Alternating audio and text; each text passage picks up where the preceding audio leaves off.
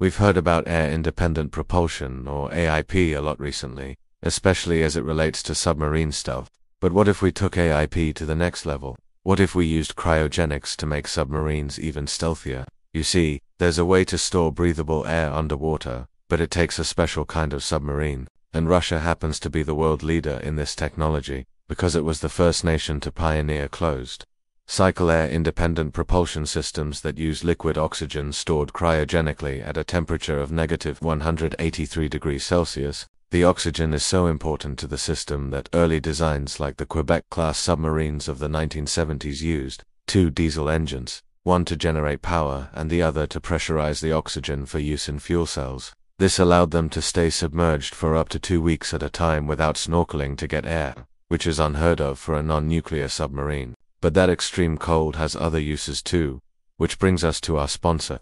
In addition to making your submarine stealthy by reducing its acoustic signature, cryogenic liquid oxygen makes it difficult to detect via other means as well.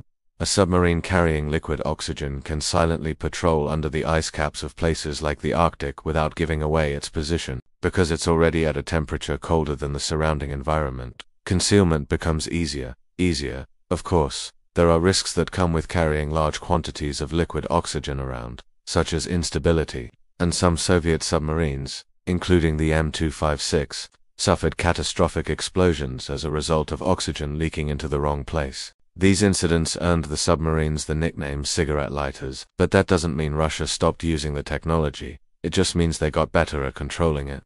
While contemporary Russia prefers to deploy its most modern submarines nuclear powered, of course, AIP tech, including cryogenic liquid oxygen storage remains, relevant for less sophisticated non-nuclear fleets that need a submarine that can remain silent and submerged for long periods of time.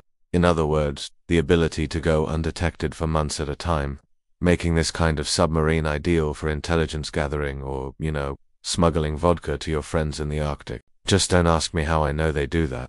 This has been a historically cold dive into cryogenics and submarines. If you enjoyed this episode and want to see more stories like it, then be sure to subscribe so you never miss an update.